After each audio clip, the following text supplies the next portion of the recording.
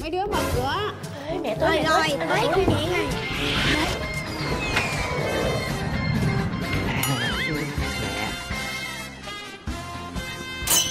mai đạt đã bắt con làm nhiều sao tóc tai bù xù vậy hả? Không có mẹ ơi giờ con anh khỏi giải thích. Rước con người ta về làm vợ cho người ô xin. Con người chứ đâu phải cái máy. Làm tối ngày vậy. Không phải mẹ ơi con anh khỏi cần giải thích từ nay công việc nhà tất cả anh làm hết đi. Này nó mà ăn hiếp gì cứ gọi mẹ để xử nó cho không mẹ con gì hết. Tôi chỉ có một mình nó là con gái tôi thôi. Để con mẹ mua tặng con cái này này con tắm đi. Nó vừa tẩy tế bào chết mà nó làm trắng sáng da mịn màng luôn á. Con dùng đi hết miệng mua thêm cho con.